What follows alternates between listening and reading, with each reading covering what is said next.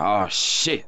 Here we go again. Today, we are checking out ATL Native, my brethren, Bolo the producer's video about too many loop pack makers. Oh, this is about to be a good one. Mm-mm-mm. Loop makers, producers, what is going on, man? What is going on? Three, four, five, six people on a beat? Mm.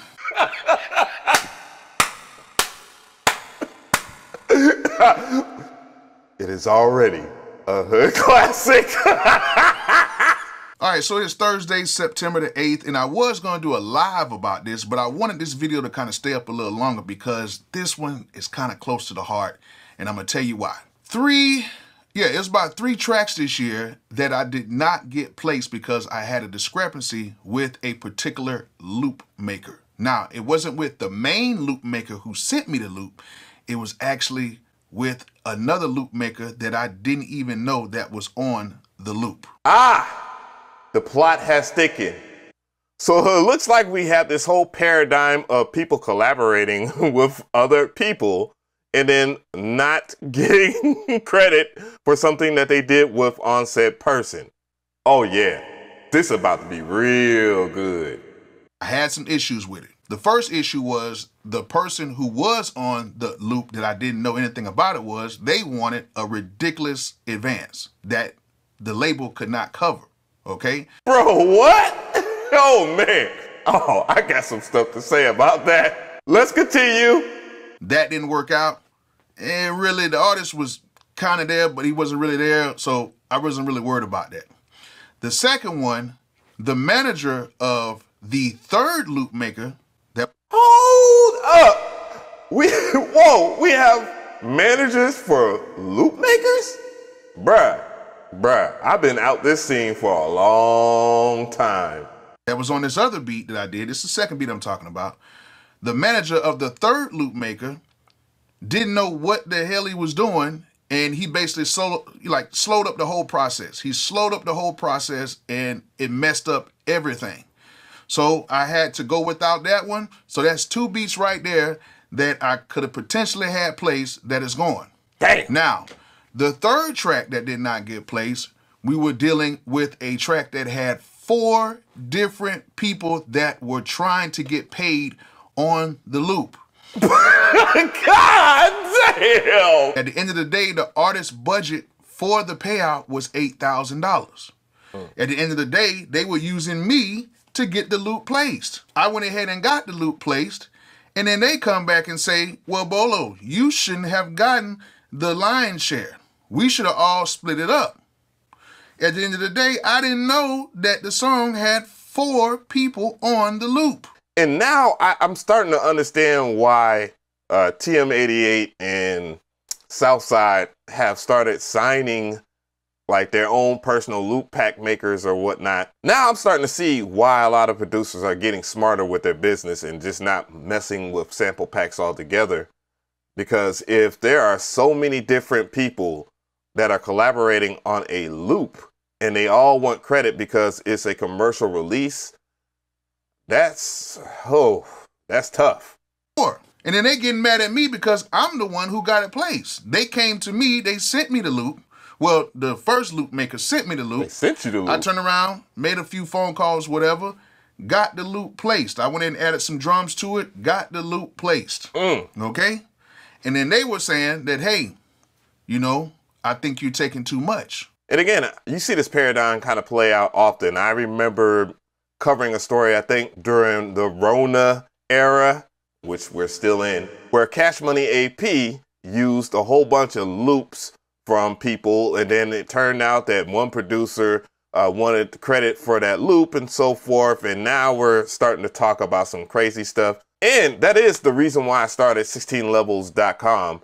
I wanted to make sure that I'm working with people that are sound designers or loop kit makers or whatnot that they don't have a gang of people behind them that they have a terms of service that is quite clear of who they need to credit and so forth and you guys don't have to worry about downloading these uh, free packs because i see that is a, a very huge paradigm too as well. Like there's a lot of people that are putting out sample packs and stuff like that and saying free and, and people downloading them and so forth. But then you find out a little later down the line that they probably didn't even make it.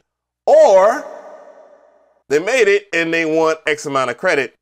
Be clear about your terms of service. They sent it to me and I'm the one that got it placed. But at the end of the day, I really was only taking half. So out of the eight, I was taking four and I was going to let them. And I think half is fair. To be honest, I don't know. A lot of people won't agree with me, but dog, he did half the work. You might have did the loop. You might have did the loop. And to be honest, I, I I hate to say it, any credit that you get beyond the money that that was already spent, or I don't know how his situation worked. I'm pretty sure they just sent it to him and they didn't charge him. In any case, let's be honest. Like if you're going to do business, be clear, be quite clear, and understand that the producer that is placing the track has the leverage. I know a lot of sample pack and loop kit makers won't agree with me, but that's what it is, to be honest. Him keep the other four. Now, you guys let me know if you think that I was right or wrong with that, even though I was the one who actually got the song placed, but I don't know. Nah, you I could be wrong. wrong. Could be You right. But at the wrong, end of the day, I just decided to You ain't wrong, bruh. pass on it because I feel like if I didn't get the beat, the song would have never got placed at all. You know what I'm saying? Well, the loop. If I didn't get the loop and I ain't add some drums to it, it never got placed at all. So that's just my feeling on it. But to That, and that's good business because, again, with sampling, I think it's important that you credit the other people. Like, I think there's too many producers out there where they will take all of the credit and you'll see nothing but their name on an album, but yet there's someone that made a loop for them, and that's just disrespectful. So I think that Bolo is doing good business in that regard. Uh, the points are up for discussion always. There's always room for negotiation. But you, as the loop pack maker or whatnot, you're not in the authority side of it. Not unless you are the person that's getting the placement. So I'm just saying. I ain't gonna lie to you. At first, you know, the whole loop game and everything was cool because it was kind of making things easier, and then all I had to do was just share a little bit of money and some splits. Mhm. But right now, this is getting out of hand. Mm-hmm. out of hand. I don't disagree with what Bolo is saying in hindsight of the people that he might have dealt with, because again, you know, different people have different experiences with other people. It just depends on what goes on behind the scenes, and he's just telling his side of the story. Who knows? There might be another side of the story. There always is two sides of the story. It's this person's side of the story, that person's side of the story, and then the truth probably sits like right in between, right here. If you are a loop pack maker, sample maker, sample creator, and so forth, and you want to do good business, make sure that you have some type of agreement ahead of time. Like for me, when I do stuff at 6teenlevels.com, I send an agreement. Like I send an agreement that gives me the right to distribute your stuff for X amount of percentage of work. Uh, you collect X amount of money during either a day or or per sale or monthly sales or whatnot. And yeah, we just have a nice, clear, concise, small one page contract. And that's what it is. Uh, if you get upset and you don't want me to sell on said stuff, then guess what? I will take it off the site. Ain't not ain't nothing but a thing, baby. Because there are plenty, plenty of loop makers out there. There are plenty of sample pack makers out there, and a lot of them are good. And then there's a select few that are extremely talented, and those are the ones that I aim to look to work with. So yeah, take it how you want to take it. Uh, I do direct business, and you should too. You should always have a EULA or a terms of service where it's quite clear and concise on if it's royalty free or if you want credit on the song or if someone can release it as a beat tape or an independent record. Just make it clear and concise so there is no mishap.